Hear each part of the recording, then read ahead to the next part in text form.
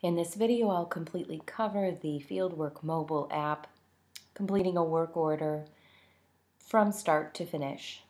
So on the current date, always pull to refresh to see all of the day's appointments. Just note that when you are on a specific date, the system is pulling the data from that date only. So in order to move and receive data for different dates, you have to tap on those dates.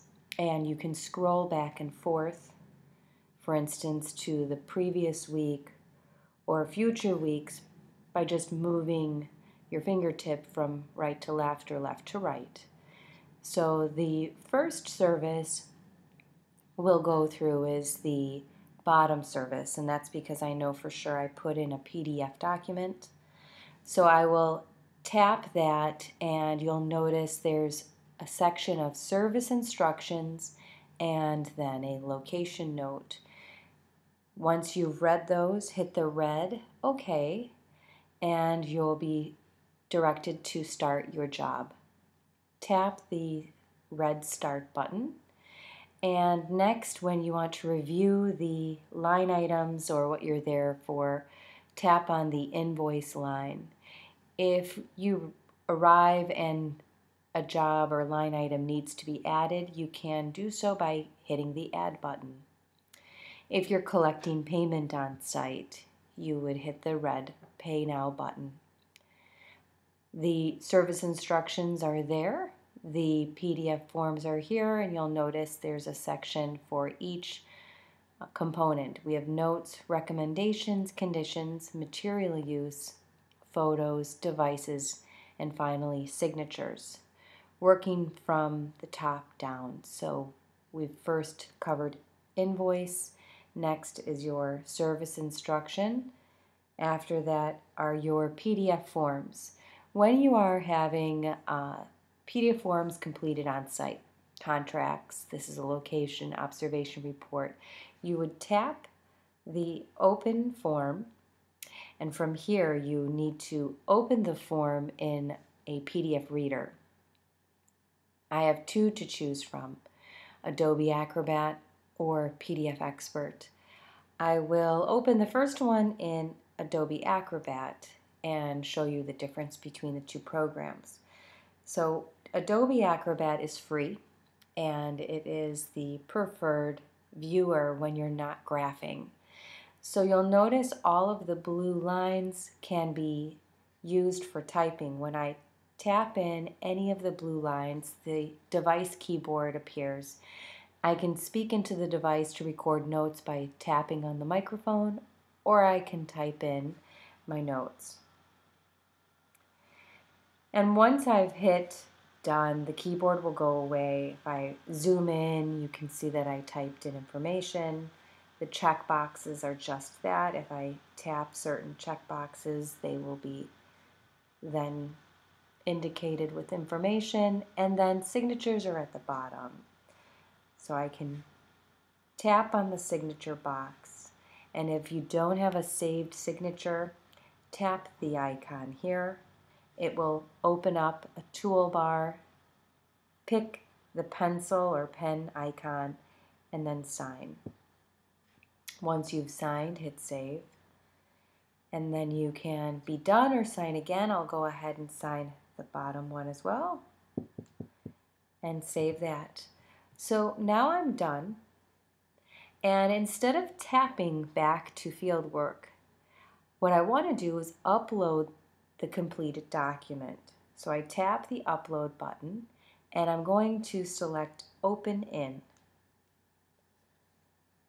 Scroll over to Fieldwork and tap Fieldwork. And you'll notice that that document is now completed. So I can do the same with the second document by tapping on the document and this one I'll complete in PDF Expert. It's a little different. This particular PDF program costs a one-time download fee, but it has a pretty neat graphing. So when I go to the graph on the NPMA and I tap that, I'm going to select the shapes and we'll select square. Let's see if that's it. There we go. The arrow and then the square. And there's my exterior structure. I'm going to hit the check mark to save it. And then if I want to hit the three dots, there are additional spaces for text, stamps, conversation blocks, and signatures. I'm going to pick the stamps. And on here you can mark different areas with red X's, check marks, or you can create a custom stamp. So if this is something that you want to play around with a little bit and customize that's um, within the capacity of this particular program. And for this one, I'm going to pick the draft stamp and put draft on there. Once I've completed in PDF Expert, you'll notice the upload button is in the upper right corner. So in order to finish up, I'm going to hit the checkbox and upload. When I upload from PDF Expert, I'm going to open in and this one I'll choose a flattened copy and scroll over to pick Fieldwork and that's completed. So those are the two different options. You have Adobe Reader or PDF Expert and uh, I'm sure there are other programs out there. Those are the two that I prefer. When you want to add in general notes, these are report findings, tap on notes, touch to add, and type in the notes or findings. And again, use the voice to text if you prefer to speak into the device. And hit save. The sec second section are private notes, and private notes will go back only to the office.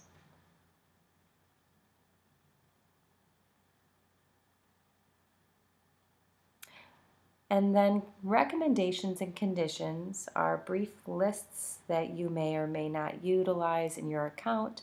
And when you do so, you'll notice that they're easy to select. Just tap them and then they appear as a note or under the recommendations in the report. The same is for conditions. And next I'll go under material use. So when I tap on the gray rectangle material use, it tells me there's none added. So I'll have to add in material. For this, I'll pick the first will be contract, and I'll add in eight units. And we'll use bait station method. It's going to be baiting. And target pest, we'll put in rat. Done.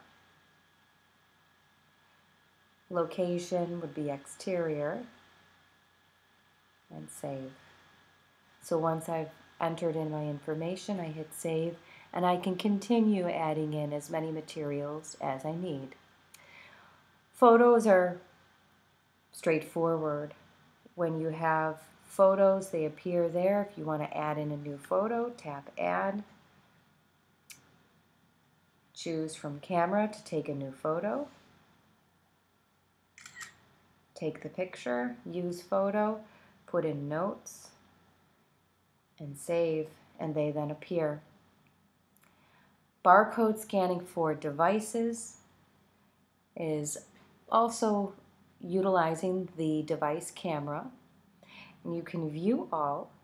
This will display all devices on site. And as you scan and check those they move over from the unchecked to the checked list for each service.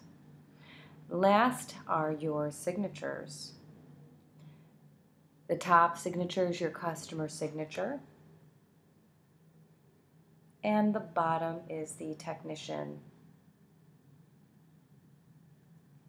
Now that it's complete, hit save and the options you have right now are save and exit, complete and exit, complete an email, preview. or cancel.